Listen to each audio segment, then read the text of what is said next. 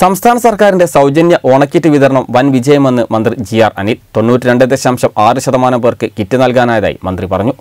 ഉത്രാട ദിനത്തിൽ തന്നെ എല്ലാവർക്കും ഓണക്കിറ്റ് എത്തിക്കുന്നതിനായി പൊതുവിതരണ വകുപ്പ് നടത്തിയ പരിശ്രമമാണ് ഏതാണ്ട് ലക്ഷ്യം കണ്ടത്. ഓണത്തിന് മുൻപ് തൊണ്ണൂറ്റി രണ്ട് ദശാംശം ആറ് ശതമാനം പേർക്ക് സൗജന്യ കിറ്റ് വിതരണം ചെയ്യാനായി തൊണ്ണൂറ്റിനാല് ശതമാനം പേർക്ക് കിറ്റ് നൽകുമെന്നായിരുന്നു നേരത്തെ സർക്കാർ പ്രഖ്യാപനം.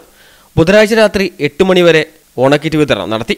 രാത്രി എട്ടിന് കണക്ക് പരിശോധിച്ചപ്പോൾ തൊണ്ണൂറ്റിരണ്ട് ലക്ഷത്തി അൻപത്തൊന്നായിരത്തി തൊണ്ണൂറ്റിനാല് റേഷൻ കാർഡ് ഉടമകളിൽ എൺപത്തിയഞ്ച് ലക്ഷത്തി അറുപത്തേഴായിരത്തി ഇരുന്നൂറ്റി എൺപത്തി മൂന്ന് പേർക്ക് ഓണക്കിറ്റ് ലഭിച്ചു.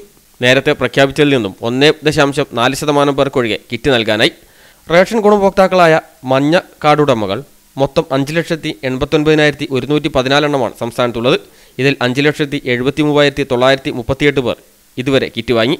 മുപ്പത്തഞ്ച് ലക്ഷത്തി പതിമൂവായിരത്തി മുന്നൂറ്റി തൊണ്ണൂറ്റി ഒൻപത് മുൻഗണനാ കാർഡുകളായ പിങ്ക് കാർഡ് ഉടമകളിൽ മുപ്പത്തിനാല് ലക്ഷത്തി ഇരുപത്താറായിരത്തി തൊള്ളായിരത്തി എഴുപത്തി ആറ് കുടുംബങ്ങൾക്കും കിറ്റ് ലഭിച്ചു.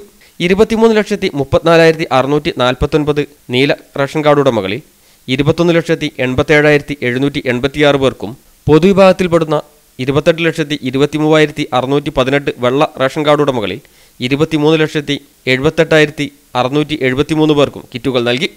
കിറ്റുകൾ തികയാതെ വന്നതോടെ ചിലയിടങ്ങളിൽ കുറച്ചു പേർക്ക് കിട്ടാത്ത സാഹചര്യവും ഉണ്ടായിരുന്നു. കിറ്റ് അന്വേഷിച്ചെത്തിയിട്ടും കിട്ടാത്തവരുടെ പേരുകൾ റേഷൻ കടകളിൽ എഴുതി വച്ചിട്ടുണ്ട്. ഇവർക്ക് ഉടൻ വിതരണം ചെയ്യും. റേഷൻ കടകളിലെ കാർഡുടമകൾക്കനുസരിച്ച് കിറ്റ് നൽകുന്നതിൽ പാളിച്ച പറ്റിയെന്നാണ് വിശകലനം. മന്ത്രി പറഞ്ഞതോടെ രാത്രി എട്ട് വരെ റേഷൻ കാർഡ് റേഷൻ കടക്കാർ വിതരണത്തിനും സഹകരിച്ചു. ന്യൂസ് ഡെസ്ക് സി പ്രാദേശിക വാർത്ത.